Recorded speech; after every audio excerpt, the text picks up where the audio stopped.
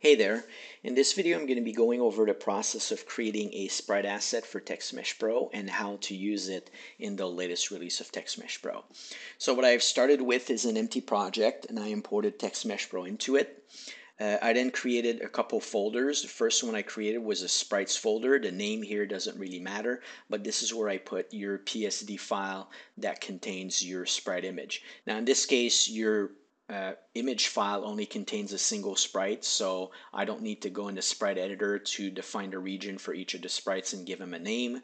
But if your uh, texture did contain several sprites, then you would go into the sprite editor and define the regions and name your sprites if you want to be able to access them by name.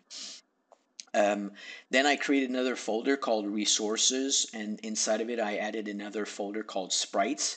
Now the naming convention here really matters because when you're trying to reference a sprite asset using the sprite tag in TextMesh Pro, it will look inside resources and then it will look inside sprites and it's going to be looking there for the sprite assets that you're trying to reference.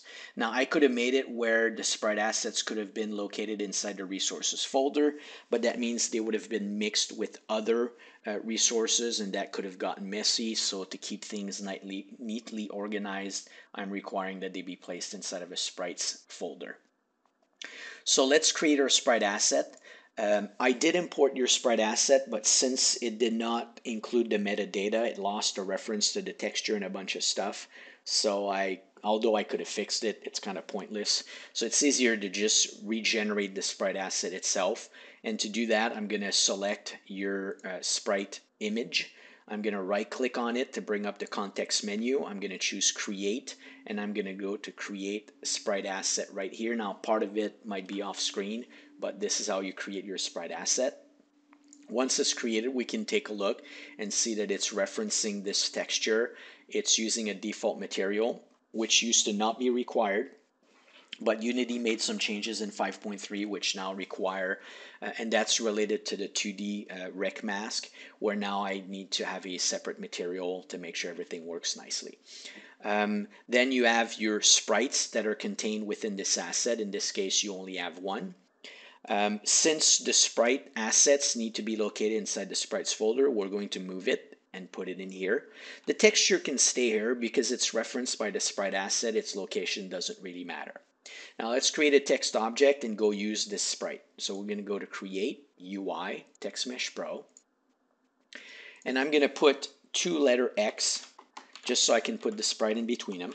So I'm going to sprite, type sprite equal the name of our asset Uh, or sprite asset is Erwin underscore pause. And uh, it, this is case sensitive, so you need to make sure that you type it correctly. And if I close the bracket, and let me expand this so we can see everything on a single line. As you can see, let me center everything on my screen. As you can see, it didn't bring up anything.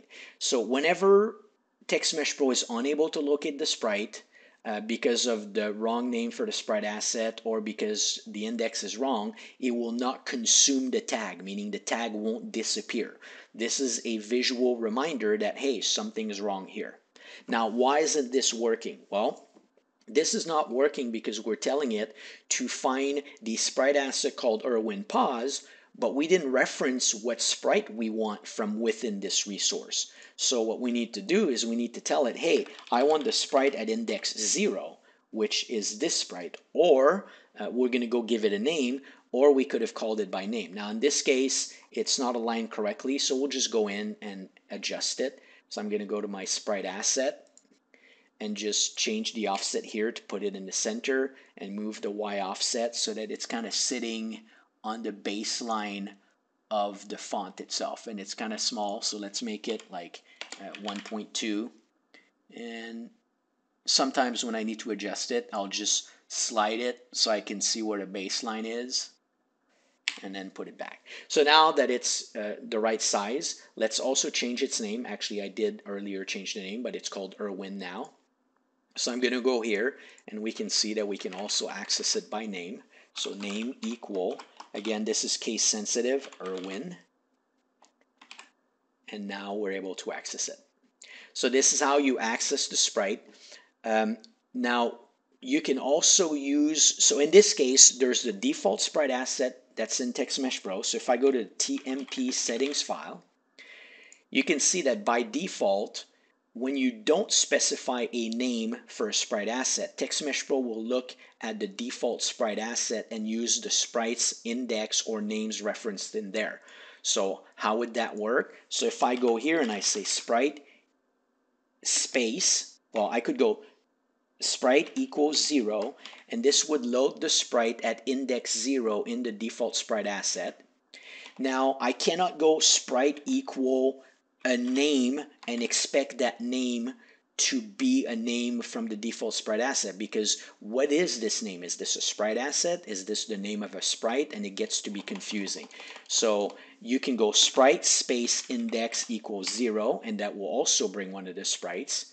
And I can also go sprite space name equal in quote, and this is one of the sprite that's already contained in that sprite asset. So now I can access them by name. So sprite, when I don't specify a name, always refers to the default sprite asset. And then sprite with equal a name refers to the sprite asset. And then I still have to use index or name to access it. Now, what if you never ever want to use this default sprite asset and you'd like to have yours assigned by default? Well, you can go to the TMP settings file and instead of assigning the default sprite asset, then you can assign your Erwin pause now here, the last one went boom because there are no sprites in the default sprite asset named what, right? The one that's in here is Erwin, right? E-R-W-I-N. So basically this shows how to do that. Now, if you have if you were using sprites with the older version, the new release no longer requires a inline graphic manager. The child are no longer uh, the same types of childs. They're not the inline graphic childs. So you can delete the inline graphic childs, you can delete the component, and you can start using it the way it is now. If for whatever reason the stuff gets confused at some point, I can actually delete these child now they go away, right? But if I regenerate the text object by changing any of the properties, then it will recreate whatever sub-objects that it needs to create. So this is it for this video. Um, let me know if you have any questions. When you're upgrading to a new version of TextMesh Pro, you always have to delete the previous release before importing the new one, and that is because Unity's asset importer is not an installer. It has no ability to deal with older files or files that should be removed. All it can do is add more files into a project. So if I ever rename a file, if I ever need to deprecate a file, then it has no ability to deal with that, which is why you should always remove the previous TextMesh Pro folder, the entire folder, and deleting it before importing the new one. The major rule is always make sure you back up your project before you do any of that. Make sure that you back up any files that you may have saved inside the TextMesh Pro folder structure, which you should not be saving anything in there, which is why I put your asset outside of it. But in the event you did, then just make sure you back up all that stuff and you restore it afterwards. So that's basically it for this video. Let me know if you still have any issues. Thanks.